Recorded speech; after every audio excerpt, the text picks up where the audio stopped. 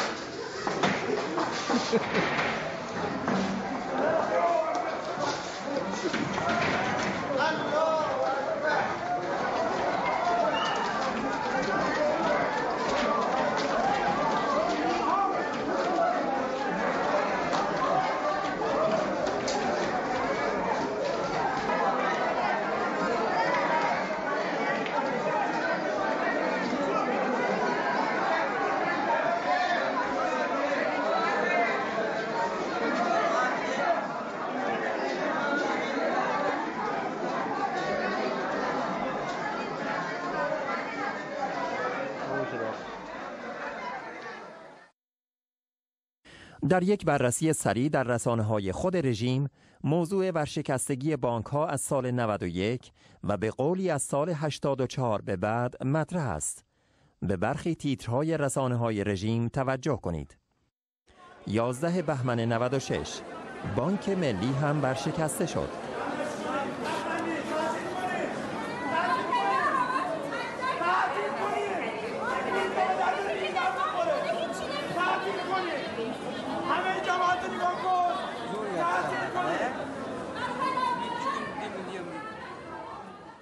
هفته اردیبهشت 96 زیانده شدن هشت بانک کشور در سالیان اخیر بررسی آخرین صورتهای مالی منتشر شده بانک ها نشان می دهد هشت بانک کشور در سالهای اخیر با زیانهای شدید مواجه و برخی نیز به مرز ورشکستگی نزدیک شدند.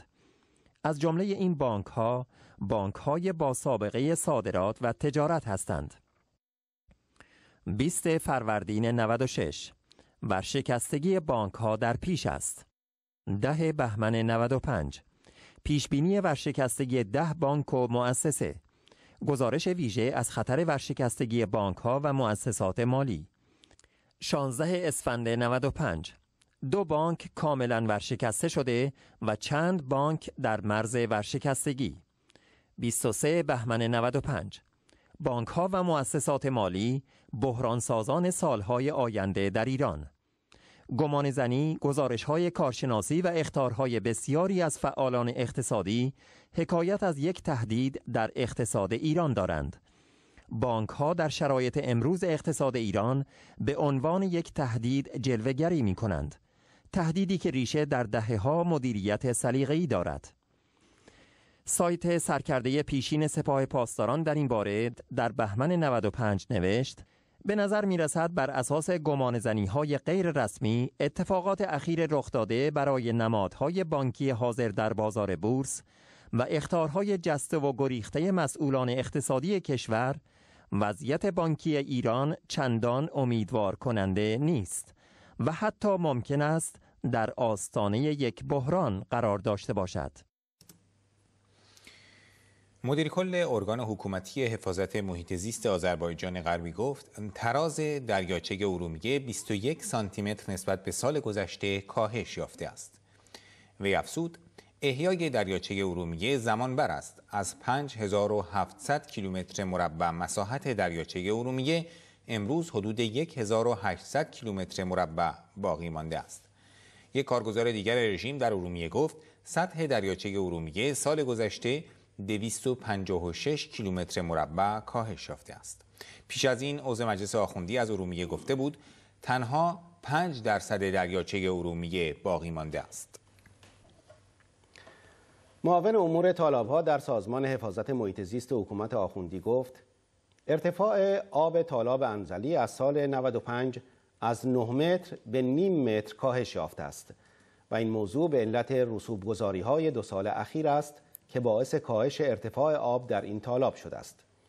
وی گفت پروژه‌ای در بالادست تالاب انزلی برای کنترل رسوبات خواهیم داشت اما تنها نگرانی ما صدهایی است که قرار است در بالادست تالاب ها احداث شوند چرا که این باعث ایجاد مشکل مشکل ورود آب به تالاب خواهد شد